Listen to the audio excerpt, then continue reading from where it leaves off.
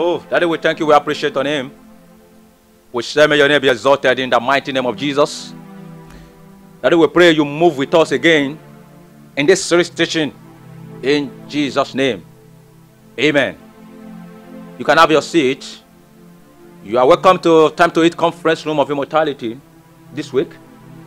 And I pray the grace of the Lord will not depart from your life for paying the price of time to be with us here now in the mighty name of Jesus.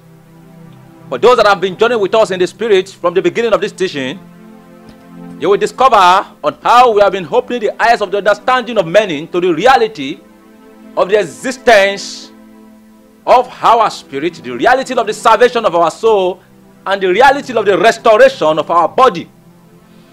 And we've talked about different dimensions of spiritual reality in series 1, series 2, series 4, series 3, series 4, series 5, and now we are in series 6 of the mark of spiritual existence. Right. And I wanted to know something because some question may begin to drop in your heart. That why do we need growth in the kingdom?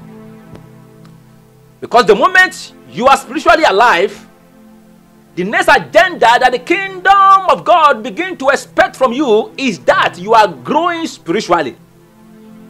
So you may begin to ask, why do I need growth? Now, let me say this to you categorically that everything that God created, or let me say you that God created, you are created to be very, very good. You are created to be correct. But you are not complete. At the same time, you are not perfect. I repeat. Everything that God creates that have a measure of life in it, they are good, they are correct, but they are not complete and they are not perfect. I know some may begin to wonder what is Banjo, what is Pastor Banjo trying to say. Just pay attention. So, simply means the moment you are born on it or you are born again, you are very good. Because when God created Adam in Genesis chapter 1, verse 26, the Bible says, and God looked at Adam and said, He is very, very good.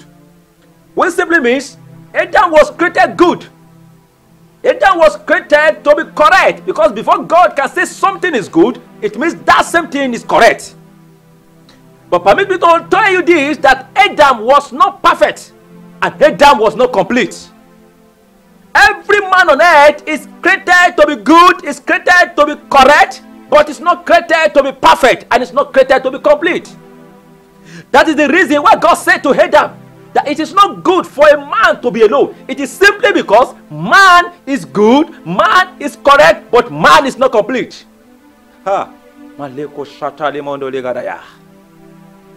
Because the moment you come to the understanding that you are complete, it means you don't need the activities of man in your life. You don't need the activities of God again in your life. You don't need helpers of destiny again in your life. Because there are four kind of helper that God has given to man to make us complete. The first helper is the one that God gave to Adam, which is your wife. That is, every man in life need an helpmate. The reason why you need an helpmate is simply because you are not complete.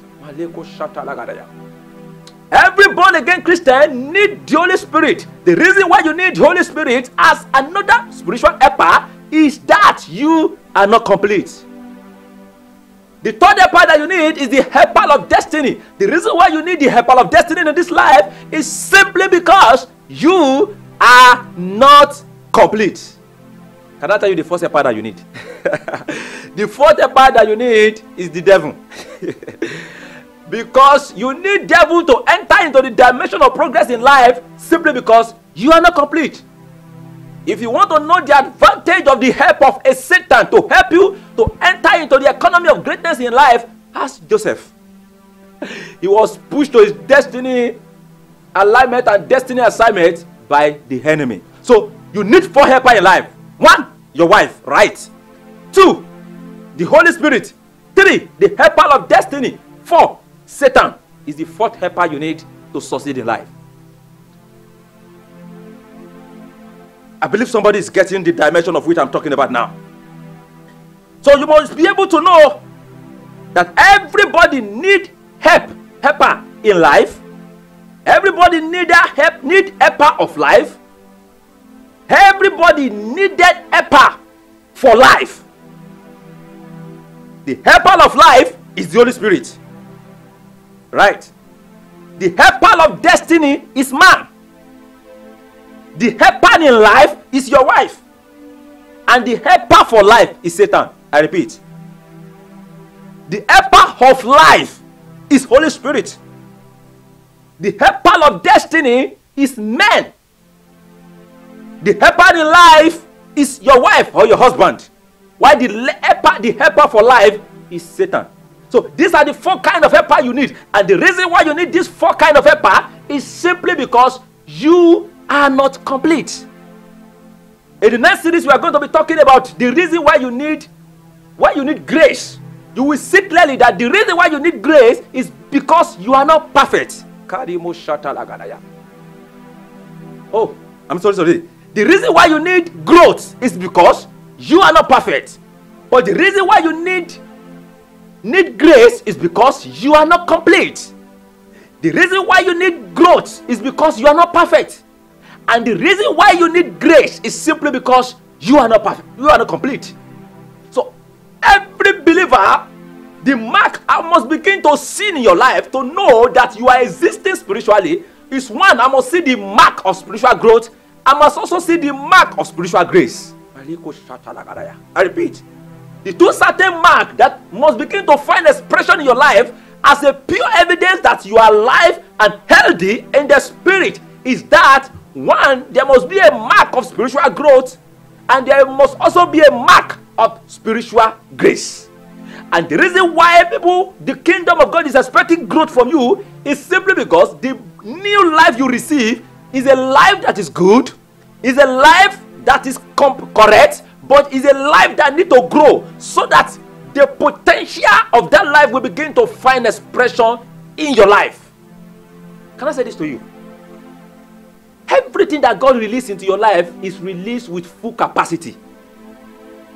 But because of the capacity of your motor body, it enter into you like a seed.